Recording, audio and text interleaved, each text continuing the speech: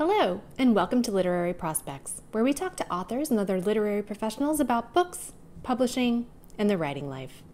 I'm Kelley Vick, the host of the program, and it's my pleasure to introduce today's guest, author Julia Fine.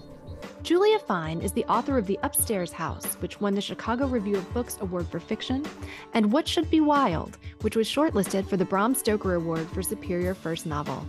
Her third novel, Maddalena and the Dark, was released in June 2023. Julia teaches writing in Chicago, where she lives with her husband and children. Let's get started. Julia Fine, it's great to have you here. Congratulations on Maddalena and the Dark, your third novel.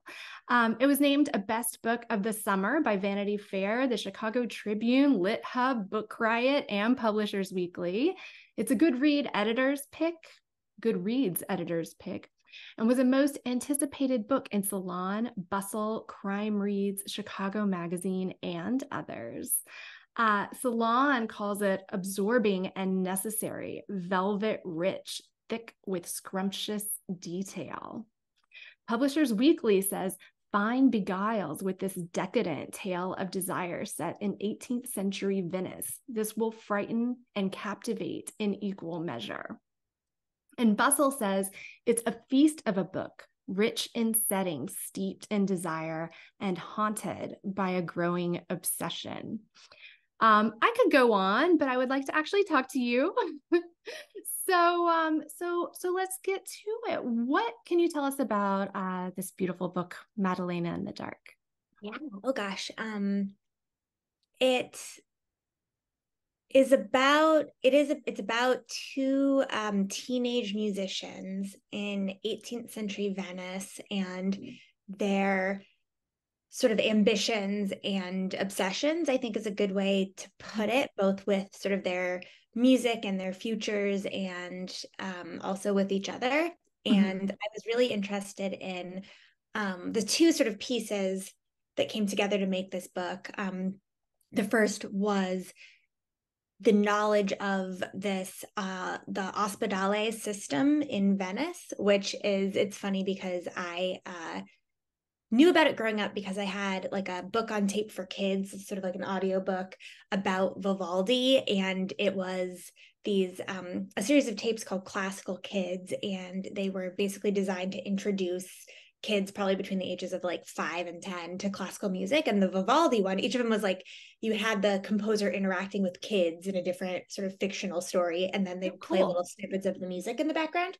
Um, and so I had the Vivaldi one, and it was set at this, the Ospedale della Pietà, where he was teaching these like orphaned young girls to play music and like leading the orchestra and writing for them. And so i in the back of my mind sort of like always knew that was a part of his story. And then um as an adult then sort of encountered it again and realized like wow what a great place for a novel. Like venice in the early 1700s at this like church orphanage music school. Like this mm-hmm. seemed a place to write a book. Um and so that was like you know what what can i do with that and then i also found myself really interested in i think um i everything that like i'm always really drawn to the way that women in particular sort of like balance their lives with their art um, and mm. I think mm-hmm. in a certain way, like all of my books have been about that in their own sort of way. Um, and so I was interested in looking at like what did it mean that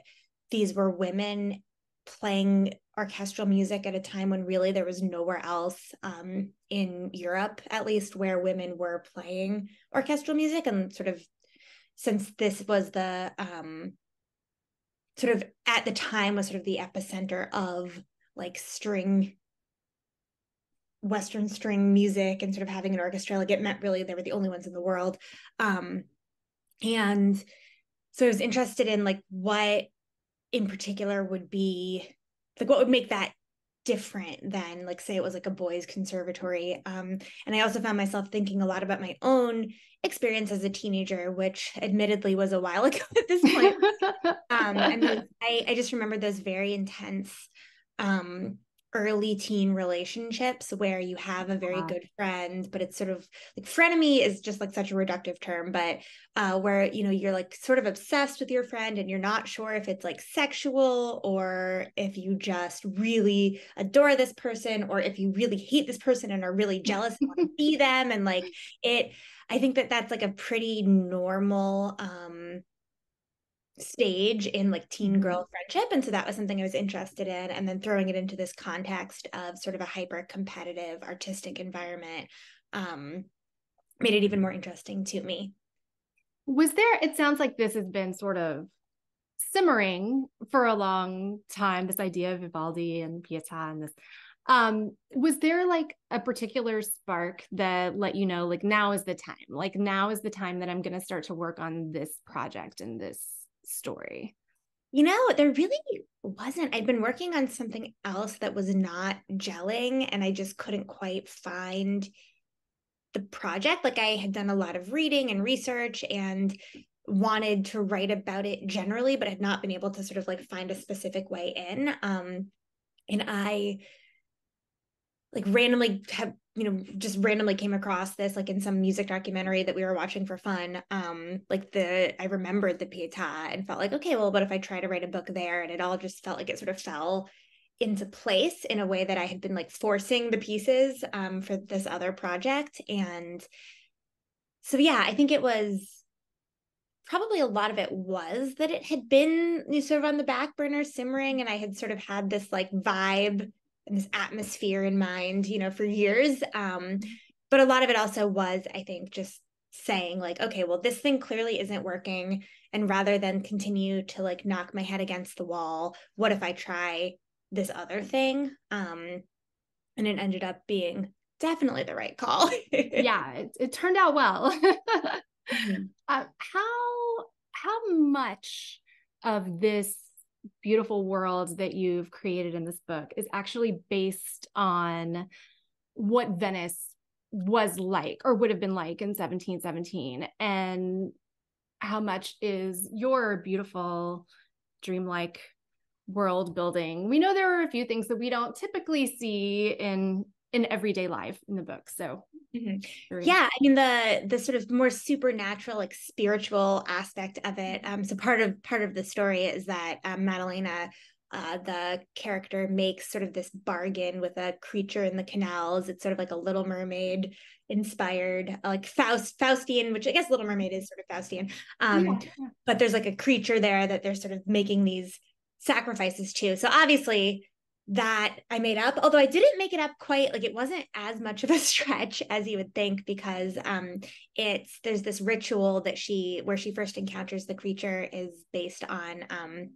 an actual ritual that they still do in Venice, although I think nowadays it's much more um performative than it is like actually believing that it's having some sort of even religious significance. Um, but every year, the Doge, who was like the head of the Venetian government, would take a wedding ring and row it out to the sort of the place in the canal where the uh, Adriatic Sea meets the canal, so like where the waves start to get rough, and would do this like wedding ceremony um, to the sea. And so like a lot of the things that are it's like all i did was take that like a step or two further um yeah and so there were a few things like that in here. Um, but I also did, I mean, I did about like a year and a half of research before I even started writing. Um, and I tried really hard to make like all of the social situations, like Venice, uh, in Venice, just throughout its history, like until it sort of turned into part of Italy or until Napoleon conquered it, and maybe even after, just had a very interesting social system that was different. Like it was a republic. Mm-hmm. Um, and so, sort of the idea of like, it, it didn't have the nobility that we think of when we think of other parts of Western or Eastern Europe. Um, but it did have like a very strict social caste system. Um, and so that is all based on truth and the idea that only one son per family got married like that was true that all of these women were being sent to nunneries because there was nobody to marry because only one son was getting married like that was all based on truth um and it also is set at a time um like venice as a cultural power was waning by the time Vivaldi was writing um, and living, writing music and living in Venice. And so the book takes place sort of at this like turn almost. And so a lot of what I was interested in were like, what were the little moments where you can sort of see how Venice as this powerful political player um, is sort of stepping back and going downhill sort of right around the time these girls are coming of age. And so all of that is based on sort of actual political and historical fact. Interesting. Yeah, it's interesting that because I was, you know, this, so that was played into you choosing this particular time, this turn mm-hmm. of, of, of Venice, as well as the turn of these characters, I guess, um, in a way. You had planned to go to Venice uh, when you started writing this book, and then uh, COVID happened. Yeah. Right? So, so, how did that work out? Um, yeah. So I the idea for this, I sort of committed to this idea. This is so sad. I, I sort of was like, this is going to be the book in like January 2020, mm-hmm. um, which I I was pregnant at the time, so I knew like, you know, obviously I was not going to be able to just like bust out a whole book in the next 6 months. Um but I didn't know quite the extent of how like little I would end up writing for a full year. Um so I yeah, so obviously I couldn't go anywhere. Um I knew that if I was going to actually like publish this book, I would need to have gone to Venice and sort of fact checked and just sort of made had more than just my like offsite research. Um, and so I ended up booking a trip for it was like January 2022. Would that have been Omicron? I don't know. It was like right when I tried so to block it out. uh, yes, I can't remember dates at this point, but I ended up I ended up going like on the very back end of the process. Like I'd already sold the book and done the majority of my like substantial edits. Um, and it was I think I had like a few weeks before I was going to turn in the final draft of the manuscript. Um, and I finally made it. And I honestly think for this particular project, it was a really great way to do it because then when I was walking around in Venice, I felt like I was walking in the world of my book in a way that oh, that's cool. really magical. That's Which, again because Venice looks. I mean, it looks a lot like it did. It hasn't changed all that much superficially. So you um and you don't play the violin, right? I don't. Um, no. But you you capture the fine points of being a classical musician, uh, particularly a violinist, so well in this novel. At least it seems so to me. I am not a classical musician either. you fooled me. Um so how did you do that? Oh gosh. Um so I I did grow up um like studying music. I was never especially talented but i did play piano and i took voice lessons and i like knew basic music theory. Um and then my younger brother played cello for years and like was quite good at it. Uh so i had that exposure too to like going to recitals and hearing him practice and sort of knowing how it works. Um but i also read as much.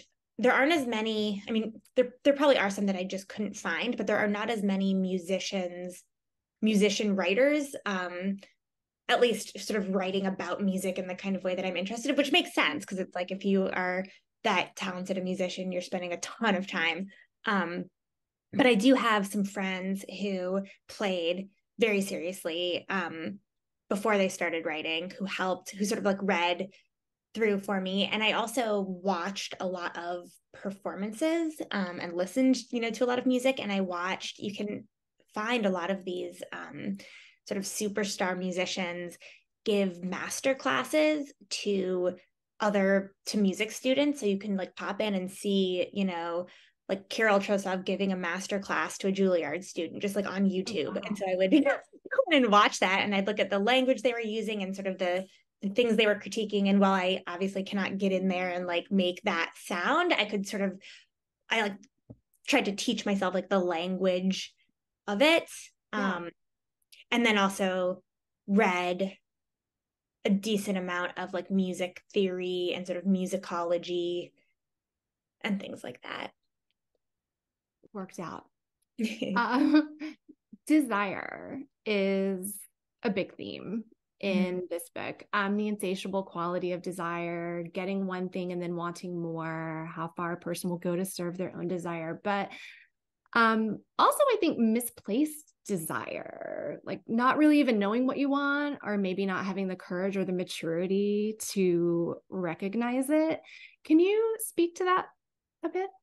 Yeah, yeah. Um, I think yeah i think in this book it's sort of operating just like you said like there's sort of two competing desires within each of the characters there's sort of what what they're socially conditioned to want and almost because of their social situations it's not even like you want it it's like you absolutely you need this in order to mm-hmm. move forward in your life just like as a woman in the early 18th century um and then there's also like what they actually want and would actually be fulfilling to them which i mean it feels very we're very fortunate to be living in a time where we can even think about those things i think. And i mm-hmm. was really aware and i wanted to be really aware while writing um of their particular like these two girls luisa and maddalena of like their place in society and what they'd have access to. Like i really i didn't want to write a book that felt like it was like we dropped two modern day teenagers into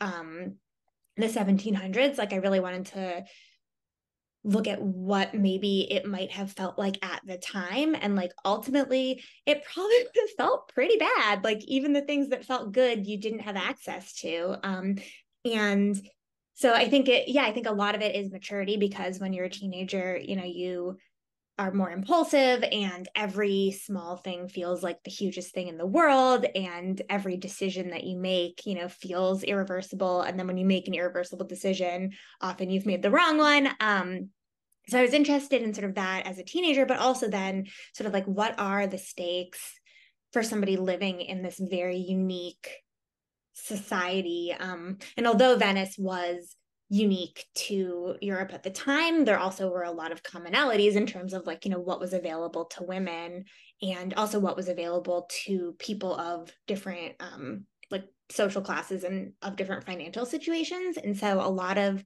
like I think if you were to take these characters and put them, you know, if they were making the same decisions today, to me at least, um, there are ways in which you'd be like, oh, you're clearly the bad guy if you're making this choice in 2023.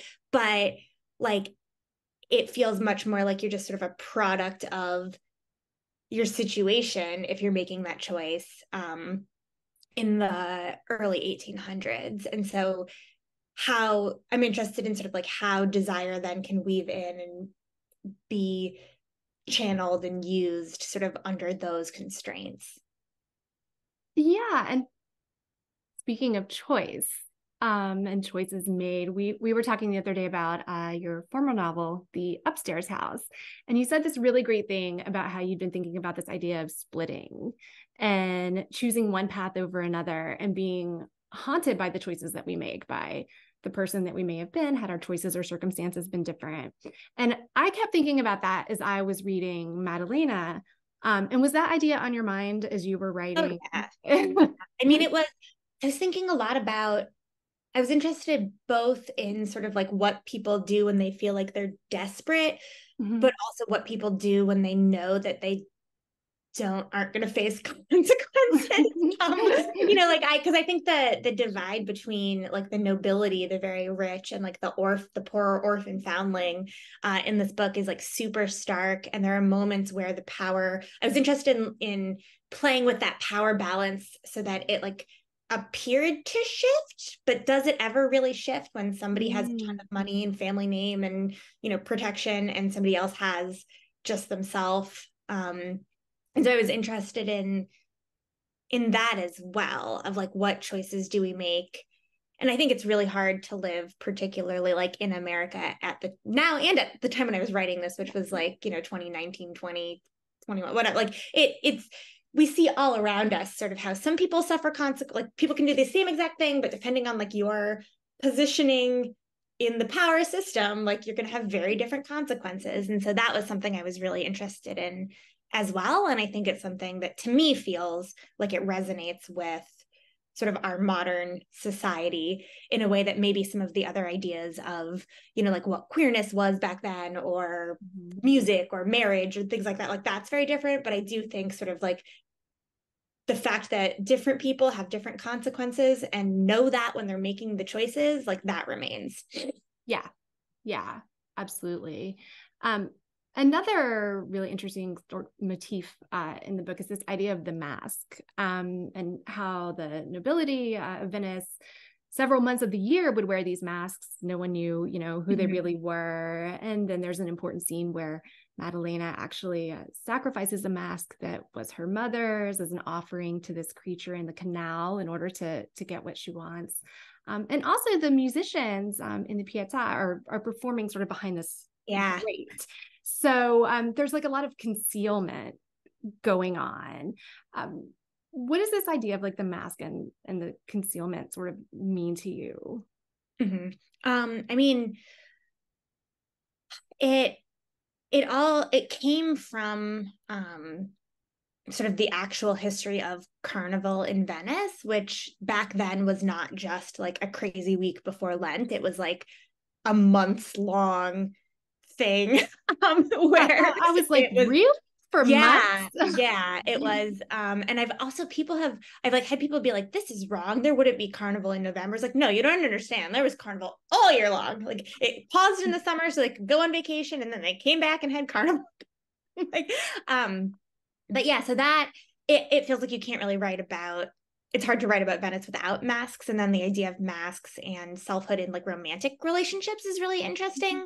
Um mm-hmm. as well of or or even in friendships, just like a mask as like both disguise and sort of protection against vulnerability and um you know what that means when you think you know somebody but they've put up a mask or they've taken off a mask or you know you're putting on a role and you're playing a character so i was interested in the masks in all of those ways um, and then also the the screen um, for the girls playing at the pietà like that was again like a factual that's how they were allowed to play but they were only allowed to play if like nobody could really see them um, although they sort of got around this, like, you know, in church, they could only play if no one could see them. Um, and so the idea too of like performance was really interesting to me because mm-hmm. nowadays, when you think about a performer, like so much of it is visual. Like there's a whole term for it. The maniera is the Italian of like what you're like and look like and sort of like the way that you're presenting while performing and it's like mm-hmm. you if you take that away you're taking away so much and what you're putting in place is these almost in the same way like it's not a sexualization necessarily of these like young girls or these women but it is sort of just like a you're projecting your own whatever you want them to be and it's interesting because um mm. there were stories about people who would come from other parts of Europe, like Venice was already part of sort of the grand tour at this point, and people would come and they'd write and they'd write about like, oh my gosh, these angels playing behind like the most beautiful girls you've ever seen playing music, and they couldn't see them because when you actually the people who actually got to see them are like, oh, this one's missing an eye, and this one limps, and this one has small like they were like orphans in you know the early 1700s so like they weren't you know but you could project like when you can't see somebody when you have a mask like whether or not it's a mask by choice or someone else has put it on you you know you people see what they want to see or what you want them to see so i was really interested in that and sort of the way those things would interact the story is told through two points of view um, Maddalena and Luisa, and, and we jump back and forth between these two. And you've said that you wanted the structure to feel like a piece of music. Yeah.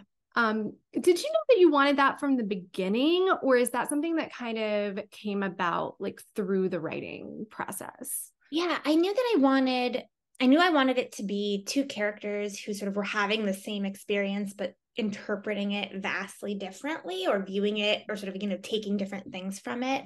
Um, and I've always been interested in books that sort of like play with structure and form. Um, and so like Alexander Chee's The Queen of the Night is a novel that was a huge inspiration for this book. It's a novel, but it takes all of these elements of opera and uses that sort of in the structure. And um, so I had read that and I'm trying to think if there's anything else like at the time that was like sort of so like ekphrastic almost. Um, but yeah, I was like, well, what if I did the same thing? What if I tried to do what that book is doing, but instead made it about like Baroque classical music? Um, and I sort of figured out like something that is unique to like uh, an orchestral piece is the way like the melody will trade like the instruments will sort of pass the melody back and forth mm-hmm. um, and so you'll hear the same thing but either it'll be played by a different instrument or it'll be very similar but it'll have like a slight variation. And so what i wanted was for the narration to sort of echo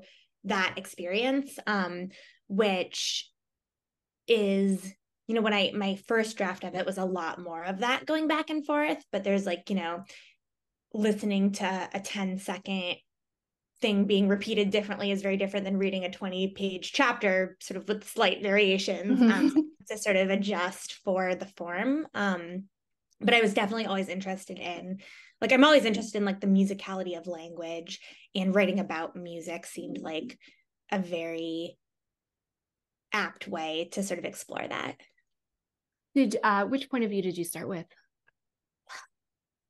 did I start? I think it's, I think Luisa actually I started with. Um, the prologue was the first thing I wrote. Mm-hmm. Then I wrote sort of Maddalena from Luisa's point of view.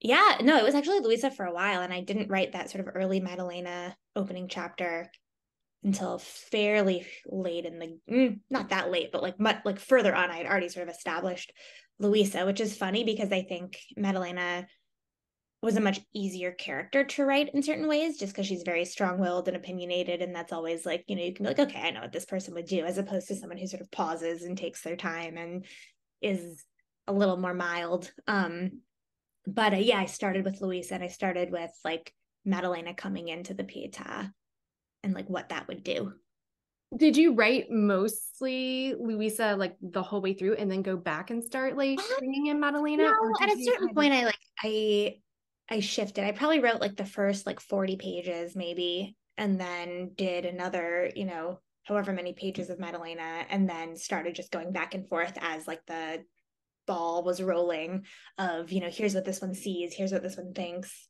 and vice versa. Um but I did like in my first draft I had a lot of I think I would I would maybe not the majority but like a good maybe half the scenes were sort of I had them both both perspectives for the scenes and then i had to go through and cut and find like which is the stronger one and what can just be a sentence that sort of says what i'm trying to say in the repetition of this entire thing so. That's a lot of work. Um as we've we've talked about you mentioned earlier there were a lot of complicated politics and societal rules and and customs um, in this world of 18th century venice. And uh, you've managed to weave in you know this seamlessly to this very sort of atmospheric story did you struggle with how to do that how to get all of that exposition in yeah. there that's i mean i think that's always almost always the hardest part especially if you're writing about something that's not sort of in the popular lexicon at the moment mm-hmm. um, like all of the research i think it's really tempting as a writer no matter what you're doing to want to just like throw in all of the interesting research that you've done. But often that doesn't serve the story that you're trying to tell and the book that you're writing. And so then it becomes a balance of like how do you get the reader the information that they absolutely must know? How do you determine sort of what is interesting to you but doesn't necessarily serve the book? And then how do you like just sort of balance plot and momentum with um all of the exposition. And for this one, it was especially difficult because it's like not just, oh, here's this little thing I have to explain. It's like, no, this entire world is totally different. Um, but I did, I took a lot from, I think, like world building. When we talk about world building, um, we often refer to like fantasy or science fiction or sort of these fantastical things, but like historical fiction needs to be built just as mm-hmm. carefully. Mm-hmm. And so using some of those techniques and looking at some of those the tools people use when building out like a fantasy world i think can be really helpful. Even if what you're building out is something that's like based in fact of just knowing like when to give information and which information to give. You are inspired by fairy tales. Um, we've talked a little bit about um, the little mermaid being sort of an inspiration uh, behind this book. Are there other fairy tales that you pulled from for for this particular story? I mean, I was I was very interested in the Little Mermaid and also in sort of like twisting the Little Mermaid to like make mm-hmm. the central character feel like a real person and not just sort of like a Disney princess, um, mm-hmm. which arguably in like the original Hans Christian Andersen, she still sort of feels like a cipher, um, which again, it's a fairy tale, so it makes sense. But I was interested in like what an actual person might do put in some of these positions. Um, yeah, so that was a big influence here. I don't know if there were any other fairy tales. I mean, like the Faustian bargain is mm. definitely a big thing. Um, but again, you could sort of argue that the Little Mermaid already is sort of a common, like a riff on the Faustian bargain. Um, so yeah, for this one, it was mostly just that, and then how that could sort of um coincide and like weave in with like the actual history. Because the disney version is a bit lots of people know of the little mermaid. Is very yeah. is different very like, different than like the hans christian mm-hmm. andersen version. Yeah it uh the the original version takes a very dark turn and in disney they just happily get married so. Um you have a book with two young teenage girls um, as protagonists in a publishing world where people are always thinking about where does this go on the shelf? Which book does this sit next to? What section does it go in? Um, did you have any thoughts or feelings about this potentially being classified as ya i mean for this so for this particular book i think i had already firmly established myself as an adult writer in a way that made it easier probably for them to position me. Like i think following a book that i just written about like postpartum depression i think they can very easily be like oh let's put it in this lane. Um, but with my first book which also has a teenage protagonist that was something that we sort of encountered um, although i actually did i just did a panel with someone who was talking about how do you know something is YA? And she's like, it's like, you know, it's like that quote about pornography. Like you just know it when you see it. But she's like, Maddalena as an example, or it's like this just so clearly isn't YA. And I think part mm-hmm. of it is because um part of it is like the interest in language, perhaps at the expense of having having um I think that an adult audience has more patience for sort of the interest in language and rhythm and things like that that I have. Um, but I also just think it's, yeah, I think the language is a big part of it. Um, but I, it's very frustrating to me because YA seems like it's clearly, you know, like the it's young adult because it's for a young adult audience and it's written like for a young adult audience and I guess my books aren't, but there is, I don't know, there's something people just don't take teenage girls seriously. I mean, I'm ready to rant about this because the new Olivia yeah. Rodrigo album just came out and I love her so much. I think she's brilliant. Um, and her first album actually was a really had a really big impact on writing Maddalena in the Dark, like tapping into some of those teenage feelings. But just to see the response people have where they will just write off anything that young women do or make or are trying to say as like the most bad faith interpretation possible when it's like no you mm-hmm. can be a smart 20 year old like yeah. um so i think that the ya like that conversation is part of it because like i don't know there's lots of books about like young men that people don't ask that about so i don't know mm-hmm. Mm-hmm. I like the rants. Um, I'm so mad. I'm so mad on her behalf because I think she's so brilliant and people are so mean she's about great. it. um, let's talk about voice. In this novel and in all of your work, there's like this strong, clear, rich voice that um that really comes through. And so I'm wondering about your process with that and and how how does this voice come to you um is it quite strong from the first draft or is that something that you kind of chip away at and bring out through revision? Yeah i unfortunately i need it to be there from the start and i think some of the problems that i've encountered with books that i have like ideas that i've been very interested in but have not quite been able to get the voice um like i think that there are times when you know like there might if i if i was able to just write it and then add the voice in after i might have written a book but um yeah no it I won't start writing until it's there. But then usually once it is there, it all it's almost like you've tapped into a vein. Um, and that's sort of what the voice is letting me access. Um, and if I haven't done that and having just, I mean, I'm fairly recently set aside a project that like I made a pretty big dent in but just doesn't have that, you know, mm-hmm. uh, first in, in favor of just starting something new because I do think like that is such an essential part of my own personal process. Like I don't think I'm somebody who, you know, like my my main talent does not lie in sort of like writing a crazy plot twist or, you know, putting together something totally cinematic. Like I think that the voice is so central to what I'm doing that if I don't have it there with me right away, like a lot of stuff falls flat. Mm-hmm. Which I think is probably annoying because people want to hear like, oh no, you just, but it, it's not the muse. It's just you just work. But it sort of the, the work comes beforehand. Like I think there's just a lot of like stewing to build mm-hmm. it up. Mm-hmm. By the time I start writing, it's there. What um do you consider yourself a plotter or a pantser? I mean, I'm guessing based on your your last answer what your answer will be for this one, but um Yeah, I think if I had to choose one, I'm definitely a pantser, but I like so it's um I think it's like E.L. Doctorow has a metaphor or a quote where he talks about how when you're writing a book or when you're writing, you only need to see it's like you're driving across country and you only need to see like as far as your headlights. Mm-hmm. Like you don't know where you're going, but you can see as far as the headlights. So I sort of believe in that process with the caveat that like there is a destination. So I know sort of what I want the end or sort of the climax to be. Um, and then I have sort of my like headlights guiding me like a little bit of the way ahead as I'm writing.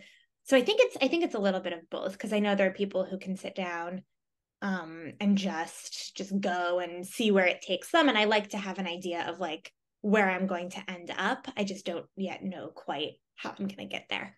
Do you have that idea of where you're going to end up and maybe like climax? I mean, do you have that sort of from the beginning or do you kind of pretty early on? I think with my first book, I didn't have that and I ended up writing like several different books. mm-hmm. I think.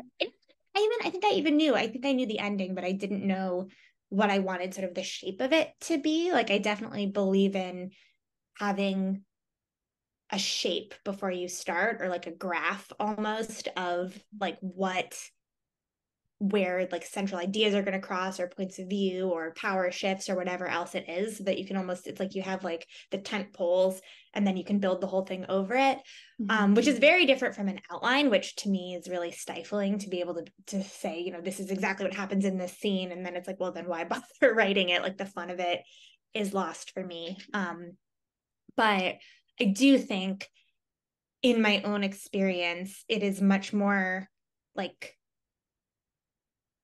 it's just a better use of time of what you're doing. And since time um, is at this period of my life with like two small kids and other work to do, like I don't have, if I had the luxury to just sort of like play all day, maybe I would feel differently. But I do think there's something to knowing, you know, like this is the time you have to build it. This is how you want to fill that time productively is actually really helpful.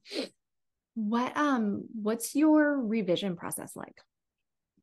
It's different with every project. Um but I think I'm I'm definitely for the most part um very liberal with cutting things or with changing direction mm-hmm. like early in a draft because I feel like I have learned at this point that I can tinker with something forever and it probably will not be as good as whatever I would do if I just tossed it and redid it um, mm-hmm. or took it in a different direction. And so I sort of like I let myself like there are things that I feel emotionally attached to and it's not like I'm, you know, erasing them from the world forever, but I will take things out of a draft or shift gears or like move what I think isn't working um, pretty ruthlessly in a way that I think benefits me in terms of like getting a book done because it's like I'm going to end up doing this anyway. Like I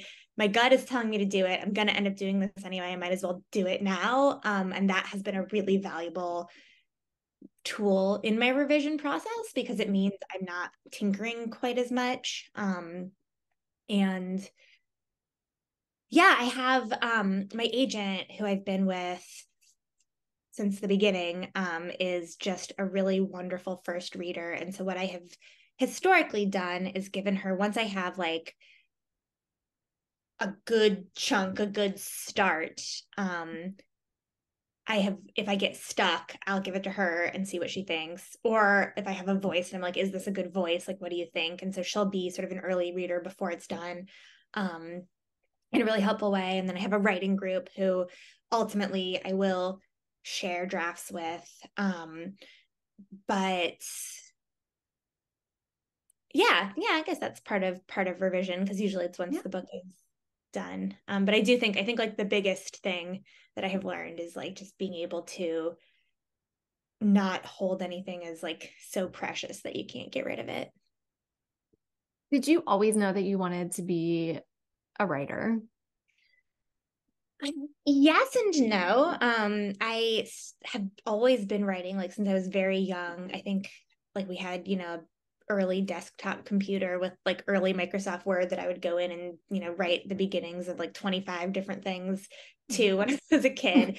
um, and then in high school, I took writing fairly seriously and like entered some competitions and took classes. But then in college, I sort of steered away, I steered away from it, thinking like one, I think that it wasn't necessarily a viable career choice, and two, that I did not have the self control to say no to all of the different social events and things that happen when you're like living within a few feet of all your friends. Yeah. Um, I really didn't write in college at all. Um, I took one creative writing class like on the very back end because I was able to finally fit it in with um, all my required courses. But then when I got out of school and I suddenly wasn't living with friends, I was like, oh, I really enjoy this. I like doing um and i sort of returned to it like post college and felt like i might as well take a stab at doing this like as a serious thing. And what was the road to publication like for you? I so i got an mfa um and worked on my first book was my mfa thesis. And so i had what i had done which i think i would not advise anyone else to do, but like worked for me is I had quit my job in public relations and I was nannying full time. And so I was making money. I was making like more money than I was making in PR. Um, but I wasn't using it's like the part of my brain that I needed. Like it's just such a different part which is it's funny now because now that i have kids it's a very different like caring for somebody else's kids and doing like i think i did a very good job of it. Like they were very happy. I don't think i was like neglecting the children. You still have much more room in your brain for other stuff than when it's your own kids. Um and but yeah it was a very good it was a good combination of work because the people who I knew who had office jobs or jobs that required them to be at a computer, I think had a much tougher time at the end of the workday going in and you know shifting gears mm-hmm. in the same format. Um, so that was good. So i wrote the book and um, it was my thesis and i revised it after submitting and graduating. I like revised for a few months um, and then i just sort of cold queried uh, i had gotten like one or two um, introductions from my MFA program, but it wasn't, it was just sort of like professors being like, here, you can, you know, query my agent. Um, but it wasn't necessarily, they weren't the right fit for me. Um, like in retrospect, like it's pretty clear. Uh, so I sort of went back to the drawing board and I sent out like 40 different, you know, query letter, the same query letter 40 times. and um, yeah, I got like a decent amount of re- flat out rejections, a lot of like, here, send me it, and then you'll won't hear from me again months later. Um, or like, you know, oh, this is so close, it's just not quite the right fit for me. I'm not the right agent for this, all this stuff. And then I finally my it was like I had gotten a rejection from someone who I felt would be a really good fit and had like read the whole thing. Um, mm-hmm. and I was like, I'll just send out a few more queries, just who knows. And one of them was my agent, um, who immediately responded and was like, Who are your influences? Like, let's do this, blah, blah, blah. And like by she wanted a phone call by the end of the weekend. Like it was like a very serendipitous moment. And she was just getting started. Um, my agent is Stephanie Delman, and she's uh, at Trellis Lit. And at the time, she was the assistant to the president of her old agency and was just getting like sort of had just started out on her own so didn't have very many book sales but like was very motivated very hungry had like a lot of people she could ask for advice. And um, when i talked to her we just really clicked because the thing the thing that people say like and i think it is really true is like once you have an offer you go back to those other people who've been sitting on it and are like i have an offer. And then suddenly they're like oh no i'm interested because we all want what other people want. Mm-hmm. um, but stephanie was like from the very beginning just seemed like the right fit for me. Um, and it has been i mean it's like the best career decision I could possibly have made. Like she's since gone on to like start her own agency and has all of these like bestsellers and is just like a dear friend and like very very good at her job and a great reader. Um and yeah, so then I once she was representing me, it went fairly quickly. Like I think we revised a little bit together and then sent it out um and sold it at auction. And then I had to edit it a lot because it wasn't as good. it wasn't. I mean, I think I think we both would say, like uh, my agent and I both would be like, we probably sent it out a little early. We're kind of green. Um, but yeah, and then I had the same editor for the first two books. Um, and she left the house, and I have a uh, also left the house, but like went in a different direction for the third. Um, most of your work has, you know, a supernatural element to it. What draws you to um, the speculative mm. side of fiction? I like being able to talk about. I think that there are certain things that are very difficult to talk about straight on. Um, whether it is like sort of desire or postpartum depression or just like resentment or just like all of these different things where you if you talk about it sort of almost at an angle people understand what you're saying and you can address it and approach it in different ways. And i think that using speculative elements sort of helps there um in that you can like say the thing you're really trying to say when you let go of realism um or at least i found that. It's funny because i'm working on something right now that doesn't have a speculative element to it um and we'll see sort of if one weaves its way in there but it sort of feels like oh no but i can like say what i'm trying to say without it. Um and so yeah yeah we'll see what happens. But i also think it I, I think it's a lot of fun to write with something a little bit supernatural or speculative and so that is part of it too. Like if I get bored where I'm at with this project, I'll probably be like, oh, gotta introduce a ghost. well, and and similar for um historical fiction. What draws you to that sort of that historical side of things? I mean, I really enjoy the research. I enjoy having like a world that uh, like a real actual world that you can come in and play with. Um, and I think I also am just like very interested in history in a way that like the older I get, the more I understand like, oh yeah, this is like real people lived in a real time in a way that I feel like when I was in school learning history, it felt much more um, sort of separate from my own experience as a human being. And so I love just being able to be like, oh, like these are just like these were people. Like it wasn't just sort of talking heads on your TV screen or, you know, philosophers writing incomprehensible things. Like these were human beings who felt and experienced and responded. Um, and so I think it is just very like I just sort of get a lot of joy from trying to envision what real life would be like for people um, in a way that I think straight history, like without the fiction, doesn't give you. Um, and straight fiction I don't feel like I have as much to say about contemporary life that other people aren't already saying in different avenues, I guess. Mm-hmm. Um, although upstairs house has like, you know, there, there is some, but I mm-hmm. do like the history just is I don't know, it feels like something you can say something new about something old with historical fiction. Cool. Do you have a writing routine? I'm sure it's probably different now um, with two been, yeah, it was when you started for, out. It's been different for every book. um, I for my first one, I had what felt like no time, but now seems like so much time because I didn't have kids yet.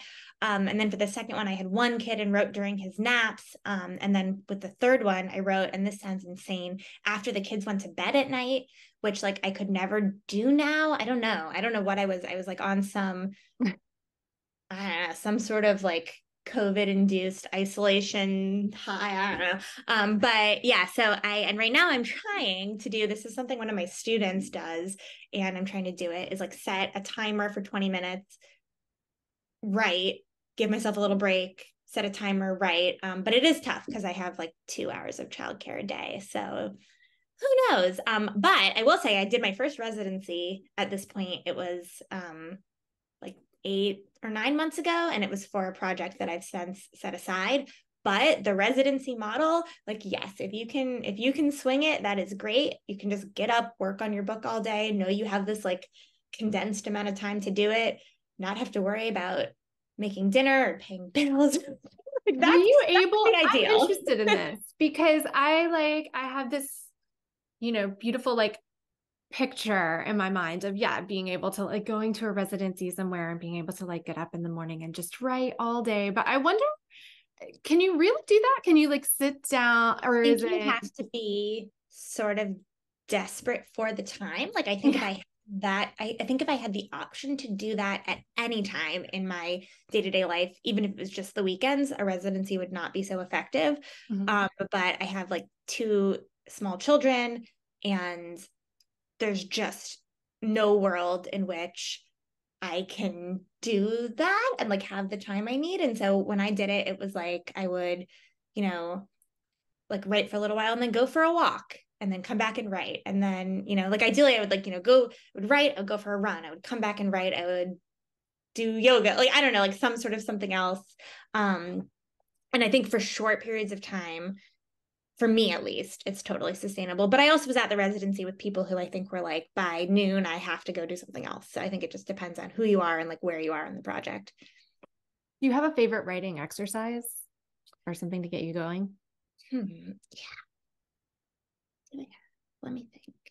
I really like so something that I have found is really useful um, is to try to do the like identify what your sort of crutch is in terms of description, like what sense you lean on the most, and then try to write a scene without that. So, like if you're a writer who really relies on a lot of visual description to challenge yourself to just like write without visual description, or if you know I don't know, usually it's almost always visual for most people who, you know, um, and sort of I think that is really useful for trying to build out a scene and like put myself in a space. Um, and then I also am a fan of the like interviewing your characters sort of of and often you know i'm just like why are you like this? And then I'm like okay here what would they say?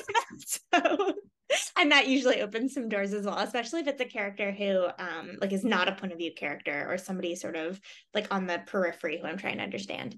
Oh i love that. Are there other questions that you always why are you like this? I, I, mean it so it sort of comes from like the proust questionnaire which one of my friends uh, is a really big proponent of where she does it like my friend katie gutierrez um, does it for like before she starts writing a book she like asks these questions for all the characters but i can't i need to like have them exist before i can uh-huh. ask but the proust thing is like you know what is what is your greatest fear? Like what is your deepest love? Or what does your ideal day look like? It's like things like that um but for me i'm much more like what makes you tick or like what in particular is making you do this one particular weird thing um that is impacting the book. so mm-hmm. I, it's a much more, I think, like um selective approach to it but that definitely is a way like i've had students and again like i've got friends who swear by you know going through the whole thing and asking questions and i think it's come sort of back in vogue from whenever proust first introduced it what do you know now that you wish you had known um before publishing your first novel my gosh. Um, I think I think I have realized that the best part of it for me is the actual writing. Like, obviously, there are times where it's really hard, and there are moments where it feels like the hardest work I'll ever do. Um, but nothing feels quite as good as sort of like tapping into that moment of flow and that perfect thought and sort of like coming up with that sentence and or knowing you know what the next scene is going to be like those moments right there feel just as good if not better than the highs of publishing at least the ones i've experienced you know like i haven't you know maybe if reese witherspoon chose my book for her book club i'd be like oh no that's the best thing. but, um, but in i think in your like average the, the average person's experience of publishing like there are really wonderful things that can happen and then there are really hard things that can happen um, but the actual creation of the book when it's like just you and your ideas is just something really special that i didn't i feel like i was rushing so hard to like you know make a career and get a name for myself. And like i mean obviously if you're somebody especially if you're someone who can write like a book a year and that's your paycheck like it's it's different. Um but I think really like holding those moments as like, oh yeah, this is just as much like the sentence I wrote is just as much an accomplishment as selling the book, sort of on a how does it feel in my body level? Like obviously there are, there are other s- sorts of rewards um but in terms of just like my own personal happiness i think um and i have tried to remind like my students especially that like you know there is no there's for most of us there's no rush and it it is it becomes something very different once you've sort of given it to the world and it's nice to have it for yourself for a little bit. I love that. Okay. Last question is the last usual question and based on our uh, conversation earlier i think i have an idea of where this might go but um when i won't say if when maddalena in the dark gets turned into a movie or series what do you think should be the theme song? Oh yeah. I mean, obviously Olivia Rodrigo. I will um I love Brutal, which was like her first song off her first album, I think is just so perfect for the description of like how difficult it is to be a teenage girl I would love that so much. I also love a good sort of like anachronistic music choice, like um Sofia Coppola's Marie Antoinette, where it's playing all the like 2000s mm. punk over the you know, over the Versailles and things like that. Um, I don't know. I I like that, and to me, it's funny because to me, the book has always felt very much like, oh yeah, this feels you know like like that, like the hot pink letters on the you know Venetian, whatever it is. Mm-hmm. Um, although I think that other people like reading it don't always catch that thread. Um, but I feel like any sort of film adaptation, I would love to have it be like sort of the the um the real contemporary emotions even in these like historical social situations and i feel like olivia's got that perfect Julia, thank you so much. Thank you. This has been so much fun. Thanks for joining us on Literary Prospects. If you liked what you heard, please subscribe and leave us a review. We'll see you next time.